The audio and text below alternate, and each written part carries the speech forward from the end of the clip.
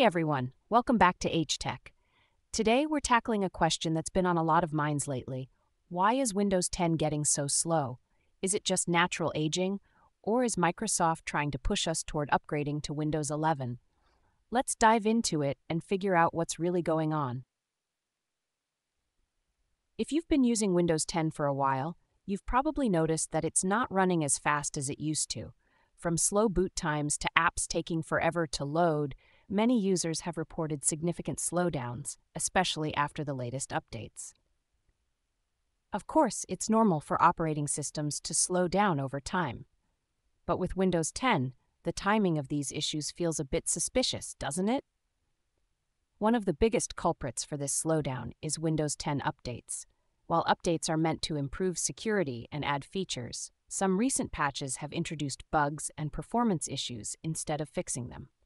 Many users feel that these updates are doing more harm than good, especially when it comes to performance. But are these just isolated issues, or is there something bigger happening behind the scenes? Now, here's where things get interesting. Some tech experts believe that Microsoft is deliberately letting Windows 10 performance decline to encourage users to upgrade to Windows 11. Microsoft has made it clear that Windows 11 is their priority moving forward, and support for Windows 10 will officially end in 2025. Could the recent updates be part of a bigger plan to nudge users into making the switch to Windows 11? It's certainly a possibility. So, what does Windows 11 offer that Windows 10 doesn't? Well, for starters, it's designed to be more efficient and optimized for modern hardware. The UI is sleeker, and features like snap layouts make multitasking a lot easier. Windows 11 is built with performance in mind, and many users have reported that it feels snappier right out of the box. Could this be another reason why Microsoft might want to phase out Windows 10 sooner than expected? So, if you're dealing with a slow Windows 10 machine, should you make the leap to Windows 11? Well, it depends. If your hardware is compatible and you're looking for better performance and newer features, it might be worth the upgrade.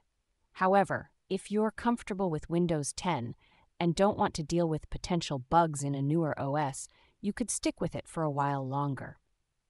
Just keep in mind that Windows 10 will stop receiving updates in 2025, so the upgrade is inevitable at some point. So, is Microsoft really forcing us to move on to Windows 11? Well, while they haven't said it outright, the signs are there. With support for Windows 10 ending soon, and the noticeable slowdown some users are experiencing, it's clear that Microsoft wants as many people as possible on their new operating system. But hey, what do you think? Have you noticed your Windows 10 machine slowing down? Are you planning to upgrade to Windows 11? Or are you sticking with what you've got for now? Let me know in the comments below. And as always, if you found this video helpful, make sure to hit that like button subscribe, and ring the bell so you don't miss out on any future tech updates.